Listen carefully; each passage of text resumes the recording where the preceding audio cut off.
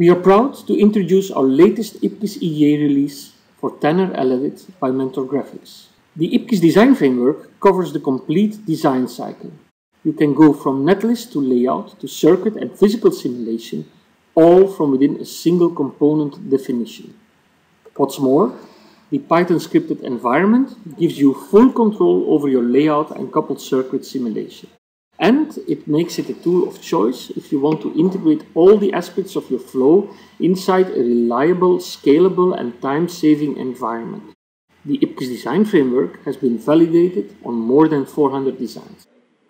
IPKISS EDA embeds the IPKISS framework inside Tanner L-Edit from Mentor Graphics.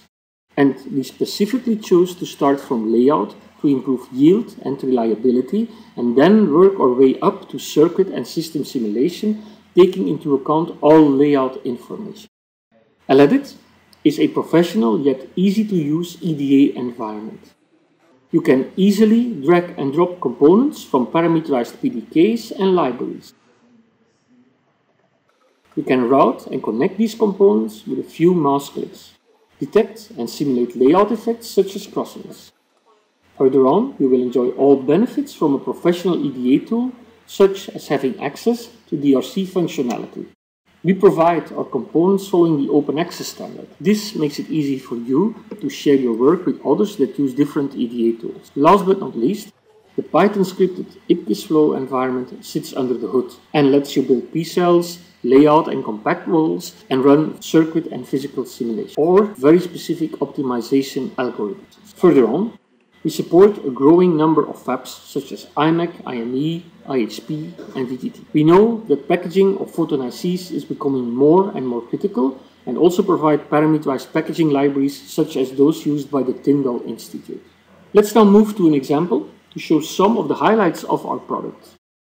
An N-by-N cross-connect can be found in many broadcasting and multicasting applications this quick demo will make use of components such as grating couplers, crossings, and thermal optic MZI switches. We will construct those switches from MMIs and heated waveguides, and then hierarchically reuse them throughout our design. We will show how easy it is to connect them and then route and control the waveguide. IPKISS EDA is integrated in Tanner L-Edit, so it can be found on many engineers' desktops. We start by creating a P-cell that will contain the switch. We drag and drop a 1x2 MMI splitter from the PDK and then add a 2x2 combiner. Integrated photonics designers can make full use of the L-Edit layout tool and here we align the two components. We can now proceed by connecting the components. Let's drag and drop a parameterized modulator to complete the MZI switch.